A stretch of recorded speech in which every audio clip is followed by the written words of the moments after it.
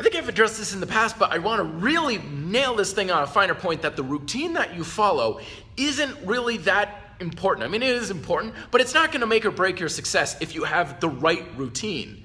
Whether or not you're doing split routines versus whole body versus lower body first, upper body first. Should you work out in the morning? What about two a days? What about doing something once a week, twice a week? All, there's millions of different ways to work out. None of them really matter all that much.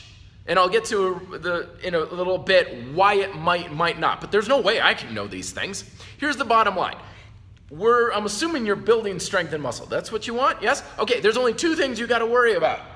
How much tension you're creating a muscle and how much time you're able to create the tension for. Those are your only variables that you have to concern yourself. Everything is just of influence to those two things. If you're not tracking these two things and putting them as a number one priority, you're wasting your time. However, if you're focusing on these things, your success is pretty much guaranteed.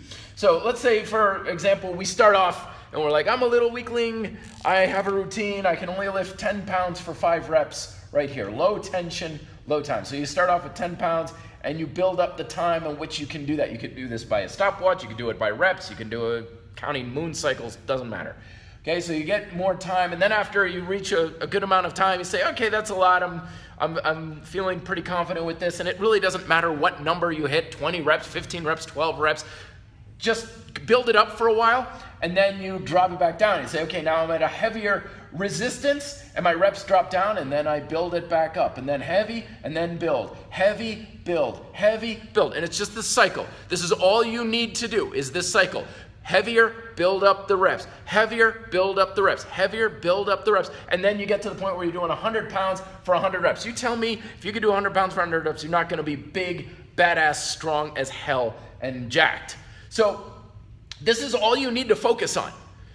Go set a weight or a resistance, build the time. Set a heavier weight, build the time, and just do this cycle indefinitely. This is your number one, this is the only thing you should care about all of the details of your routine are should all come under the idea of how is this going to help me do this? How is a split routine going to help me do that? How is a full body routine going to help me do that? How is supplement x y and z potentially going to help me do this? Now there's no way i know these answers for you. You're going to have to solve this for you because we're all different you could make this happen easier if you work out in a split routine.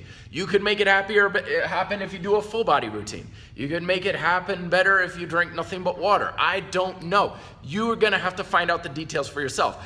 But if you filter all of your questions through how is this going to help me build up my time under tension over time, you'll have your answer on whether or not something's going to be potentially beneficial. And if you don't know, just try it because there's no way in hell I'm going to know. Just try it, find out for yourself. But this is the only thing you should ever worry about in your routine. Build up your time, then build up your resistance. Time resistance, time resistance, time resistance. And that's how you're going to get your results. Questions below. Be fit, live free.